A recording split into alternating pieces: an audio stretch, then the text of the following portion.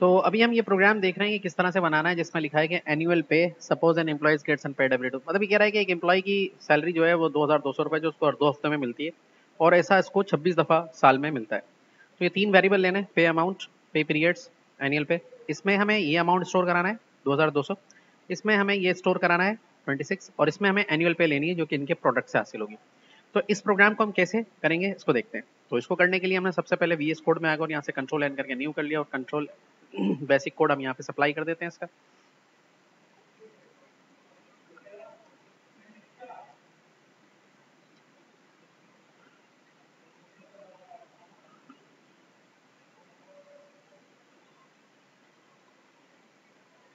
यहाँ पे हम अपने प्रोग्राम को सेव कर देते हैं।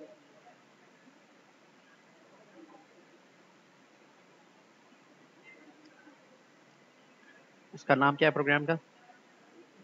एनुअल पे, ठीक है?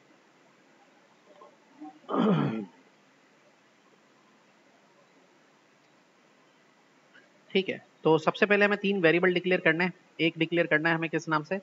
पे अमाउंट पे पीरियड्स और एनुअल पे तो डबल करके एक वेरिएबल ले लिया पे अमाउंट ठीक है?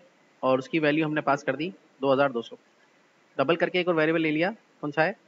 पे पीरियड पे पीरियड्स उसकी वैल्यू हमने पास कर दी है कितनी? 26 और एक और डबल करके वेरिएबल पास कर दिया है एनुअल पे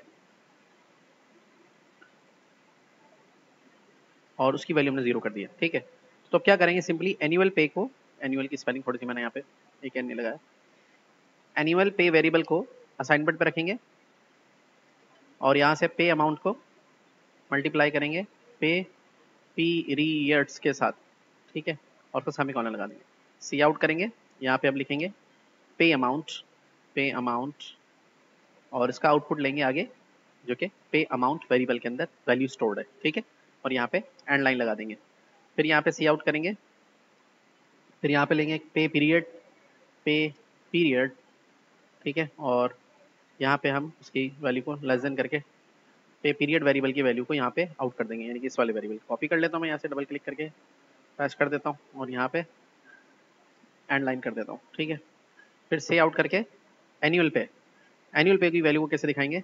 एनुअल पे लिखेंगे यहाँ पे और यहाँ पे स्पेस देंगे स्पेस स्पेस और यहाँ पे भी लेस देन देके इस वाले वेरिएबल का आउटपुट यहाँ पे ले लेंगे। और यहाँ पे सेमी कॉलन लगाएँ अब देखें प्रोग्राम का आउटपुट देखते हैं क्या आ रहा है। सही है? अब इसी प्रोग्राम के अंदर इनपुट बना लेते हैं ठीक है? इनपुट इनपुट लेना बताया अच्छा ठीक है।